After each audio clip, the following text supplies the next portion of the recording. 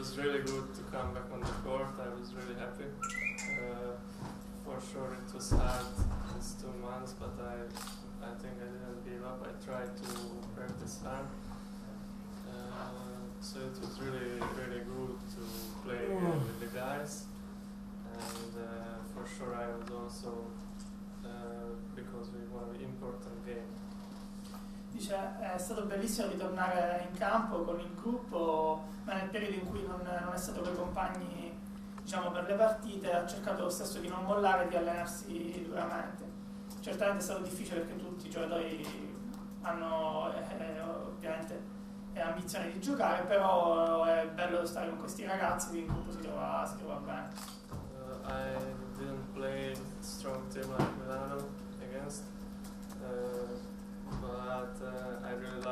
games when uh, everybody waiting for the games, for the fans, the team.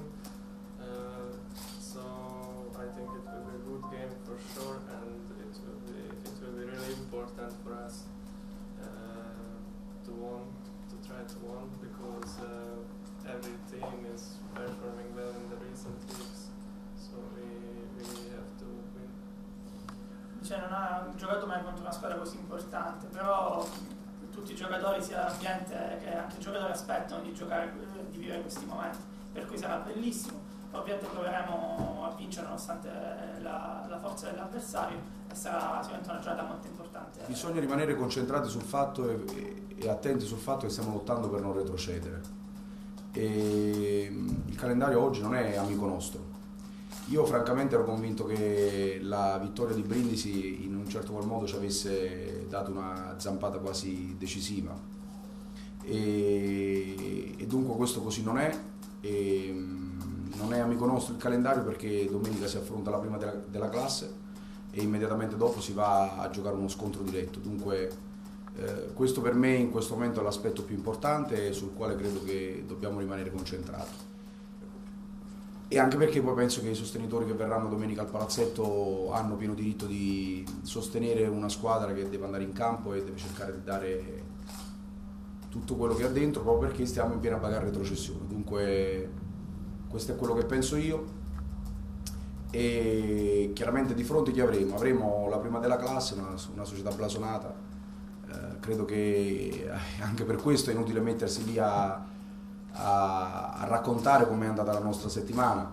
Apro eh, una parentesi veloce e colgo l'occasione per ringraziare la società della Viola Reggio Calabria che ci ha cortesemente concesso di fare amichevole infrasettimanale, tra virgolette, vista appunto le defezioni che avevamo, viceversa saremmo stati in grosse difficoltà eh, a metà settimana per fare allenamento, dunque grazie a loro che ci hanno concesso comunque di avere quantomeno una giornata produttiva di lavoro.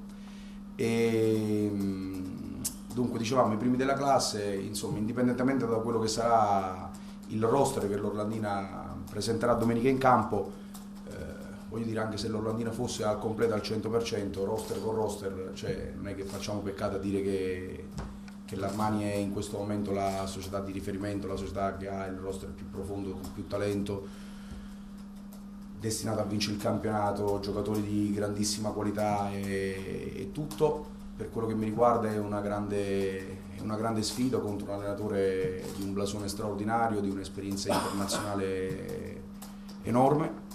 E dunque detto questo abbiamo di fronte il massimo dei massimi.